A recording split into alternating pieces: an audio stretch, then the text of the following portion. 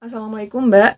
Jadi gini ya, aku mau meluruskan ya beberapa poin. Yang pertama, aku nggak pernah bilang di video mana pun bacaan Al-Quran itu lebih baik yang ini. Nggak ada. Bahkan aku bilang di video, kalau kamu mengamalkan Yasin Waqiah, jangan lupa baca surat Al-Quran lainnya.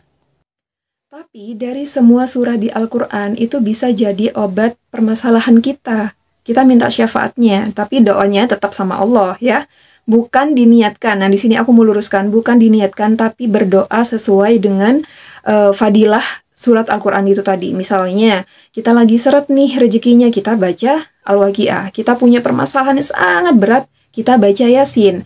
Nah, kita minta dijauhkan dari siksa kubur, ya udah kita baca surat Al-Mulk kayak gitu tanpa menghilangkan atau eh, nggak uh, baca Al-Quran yang lainnya, enggak. Tapi ada porsi yang dilebihkan saat kita membaca.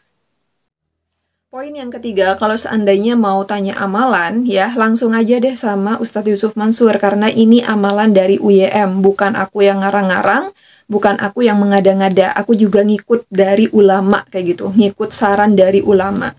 Kalau seandainya aku yang menjelaskan, banyak juga gak bakalan nerima, karena memang aku di sini fakir ilmu, aku orang yang uh, sangat minim ilmu untuk menjelaskan.